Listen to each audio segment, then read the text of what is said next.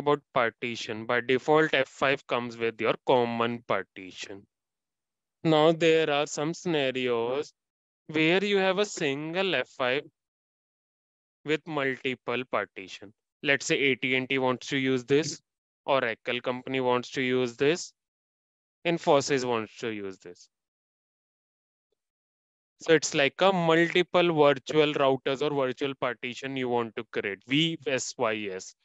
In FortiGate, it's called VSYS, where you want to segregate one F5 hardware into multiple partitions so that you can save the cost for purchasing in hardware. So that is where it comes partition role.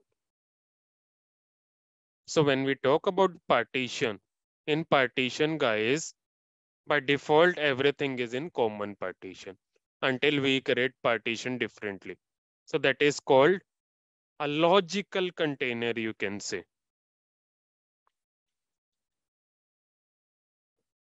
By default, everyone will have access to this. And you can do this. See, you go here and you will see only partition common. See, no other partition is there. So right now what is saying is one customer only have access to this. For AT&T, I have a separate F5. For Oracle, I have a separate F5. For Infosys, I have a separate F5 that is called every partition will have common particular hardware for particular customer. Now sometimes requirement comes in where I want to segregate my F5. Multiple customer wants to use this. Same F5 I want to use for AT&T, or Oracle, and Infosys. But I don't want that AT&T should view the configuration. He is able to view the Oracle configuration or Oracle can view the Infosys configuration. So that is where your partitions comes into picture.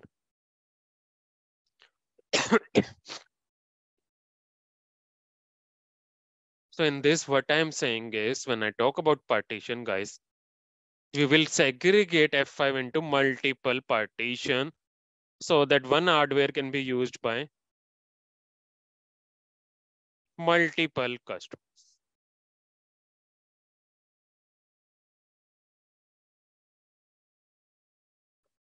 So how we can do is guys, we, we have a concept of virtual router here that is called route domain. So for one F5 AT&T customer, we will create one AT&T partition. For Oracle, we will create Oracle partition. So how we will do system users partition. So here I will create one partition called Oracle finish. Can you see default route domain? I'm assigning, but generally I will assign into different routers because routing table is different. Different schemas are there. AT&T as one partition. You can give name ATT.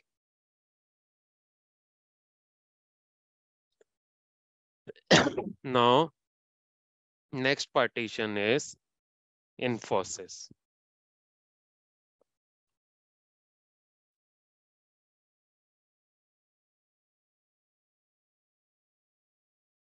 Now guys, what we have done is you can, we will see this.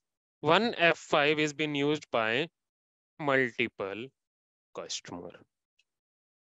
It's like just a VRF or VSYS concept, or you can say virtual router. You are making one F5 logically separate with different customers.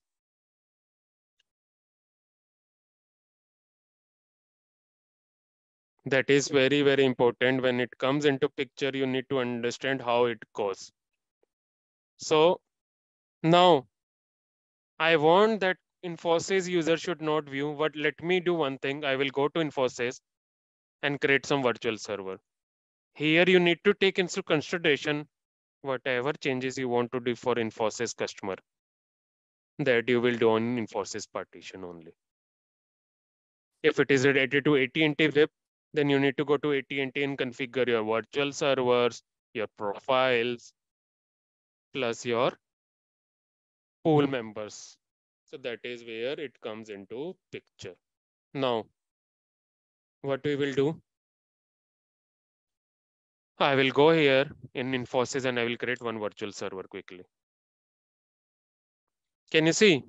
Infosys has right now access to your whatever is configured in common, every partition will have that access. Whatever is configured in common, it will see by all other customer. But what you configure in particular partition that will be not accessible by another customer. I will show you. One dot let's say name is Infosys, I, inf, I will say Infi VS1. You can give any IP, 168, 1.75, 80. That's it.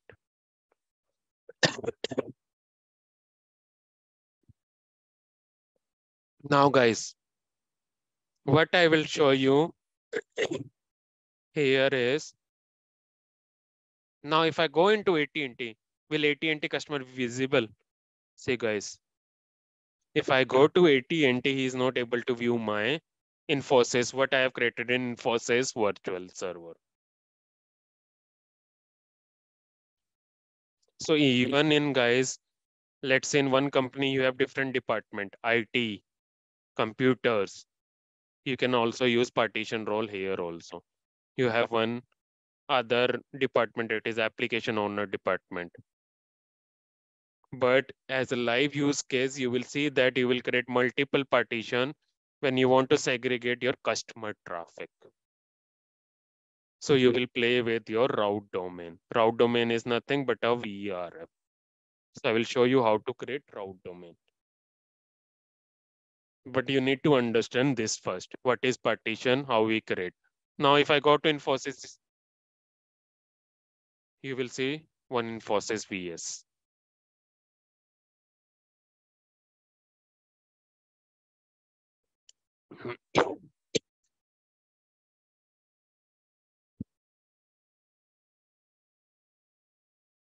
now, if I go here in any other Oracle, Oracle will not see this. Now you need to understand this thing. Every customer will access to your common partition, whatever you configure in common, every customer can view. Because that is common to all. Let's say HTTP profile is common to all. So that is common. Now, but whatever you configure on particular partition, that is not visible for AT&T or Oracle. I have created one virtual server that was not visible from Oracle or AT&T.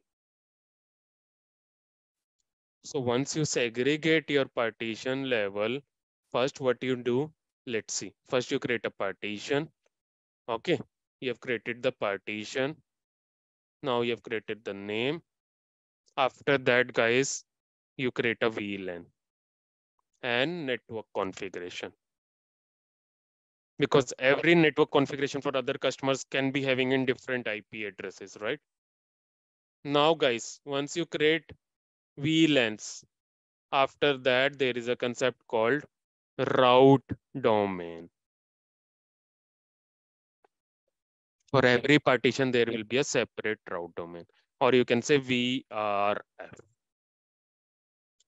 Very, very important. What is route domain? You should understand when I talk about route domain, you can say that I will show you.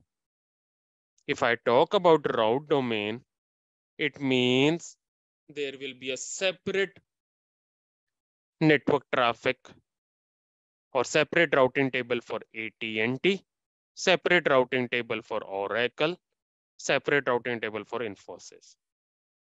So route domain is an object in F5 that isolate your network traffic for particular application. It is the same concept of VRF. Virtual routing table. So basically it is used for segmentation. See, one F5 is using different partition. It has separate network. It will have separate network routing. So how you can segregate that is done by routing table. Route domain object. So what I will say, another example use case is using route domain feature, you can provide hosting service. Let's say Flipkart is one application which is common for multiple customer. So you can use using route domain. You can use same subnet here also, here also, here. With route domain, you can use duplicate IP address also. One application is, let's say, Google Cloud. That should be accessible from AT&T also, Infosys also, and Oracle also. So you want to host one service for multiple customer, how you can do that segregation. That is used by a route domain so you will create self IPs, VLANs for this customer and route routing. You will create self IP VLAN for this customer. You will create self IP VLANs for this customer. So this is the live production which I am showing you guys. In production also you can segregate this. How you can do now? You will go to network tab.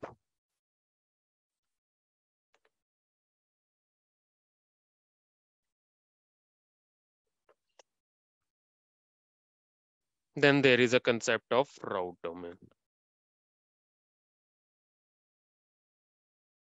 Now here you will create a route domain for separate customer. It will be unique ID. So I will say name ATT. ID is one. Now here you will define. You can also, let's say, guys, one more use case, good example. Let's say I have a customer. Let's say I have a F5 device, LTM, and I have taken virtual edition with one gig throughput. Now I have five customers needs to deploy in this F5, ATT, Oracle, Verizon, Infosys. He wants to use 200 Mbps. He wants to use 300, 200. So you can apply it bandwidth controller also, guys. And separate VLAN will be called here. That is how you create your route domain. Now what I will do quickly, guys, I will go into Infosys because I've created Infosys partition. In Infosys partition, what I will do, I will create one VLAN. Infi VLAN 10.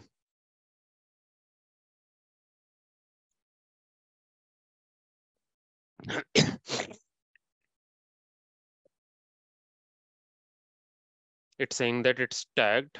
Let's see, because that is already tagged. So it will not allow me. So I need to make it tagged. So what I will do now, I will go to network tab, route domain. Now here it will show me, see. ID I can give, name here. What name I can give? Any name, 8 infi. ID one and finish.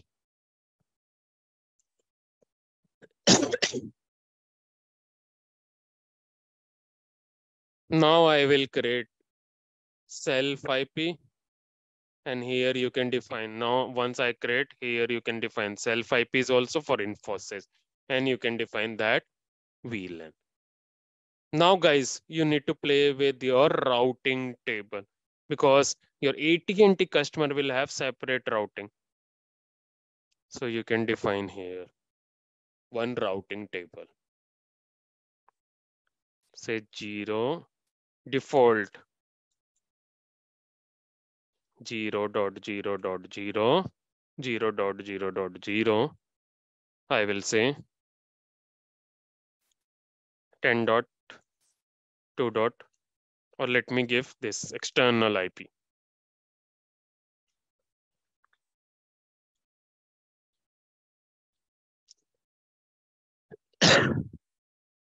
so this is how you can now I can go to bandwidth controller here in acceleration. I can give bandwidth here in phi. I will give 300 Mbps. So that is what is the meaning of your route domain and how you create partition with route domain, guys. So good example is where let's say you have an ISP which is serving multiple customer. So one more example of route domain is let's say you have an ISP AT&T that service multiple customers. It serves Infosys, it serves other customers like Spectra, Reliance. Reliance is also ISP, so I will tell anything else customer, XYZ. So where now this customer will deploy a separate application. In this customer, it will deploy a separate application. So how F5 will isolate the traffic? So it is done by route domain. This will have separate routing table. This will have separate routing table. This will have separate routing table. And every route domain which you create, this will have separate ID number one, two, three. So that is called route domain concept in F5 guys. It is similar to VRF in Cisco. If someone has worked on Cisco, basically divides one routing table into multiple route tables.